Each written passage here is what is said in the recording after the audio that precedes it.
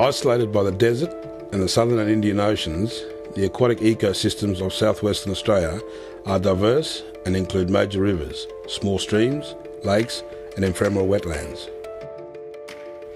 Millions of years of isolations have resulted in the region now housing a unique array of flora and fauna, and as such is recognised as one of the world's endemic hotspots.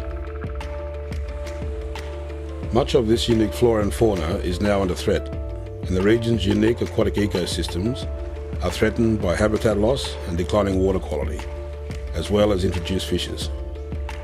For example, species generally breed during the winter and early spring, following the highly seasonal rainfall, and then retreat to the summer refuges as these ecosystems become drier and often cease to flow.